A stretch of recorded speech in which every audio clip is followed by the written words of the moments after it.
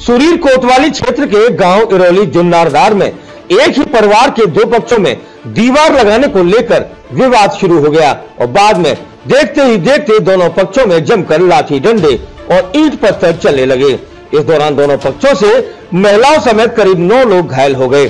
सूचना पर पहुँची हंड्रेड डायल पुलिस और इलाका पुलिस ने मौके पर पहुंचकर मामले को शांत कराया और दोनों पक्ष के घायलों को थाने ले आई, जहाँ तहरीर लेकर सभी घायलों को उपचार के लिए अस्पताल भेज दिया गया।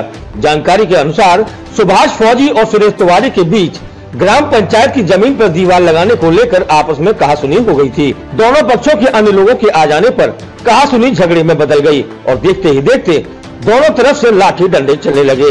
बहरहाल, सुरेश पक्ष के दो लोगों की हालत नाजुक बनी हुई है। सुरेश तिवारी पक्ष से गौरव संतोष विमलेश और नेहा घायल हुए हैं, जिसमें सुरेश और गौरव गंभीर रूप से घायल हैं। तो वहीं सुभाष फौजी पक्ष से सविता शामवीर संजय और मुनिता के चोटें आई हैं। दीवार लगा रही बीच रास्ता में। कौन लगा रहा था?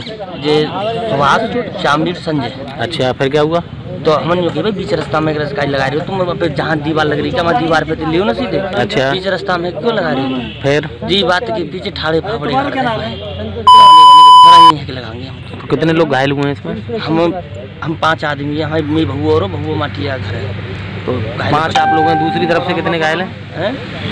दूसरी तरफ़ तो ये एक ही आया हो ये तो क्या और सब भाज गए अच्छा तो ये परिवार के लोग हैं तुम्हारे हैं? हाँ तो वैसे परिवार के ही है ऐसे अब ये कहाँ परिवार जब हम फूटे खरंजे को लेकर विवाद हुआ सड़क को ना खाली दीवार के बीच भाई कि यहाँ की दीवार बीच रास्ता में कि तुम गाँव समाज की जगह वो तो गाँव में तुम दीवार क्यों लगा रही हो बस इसी बात को हाँ क्या हम तो मन चाहे यहाँ के लगाएँगे हम आपको तू तू तू भैया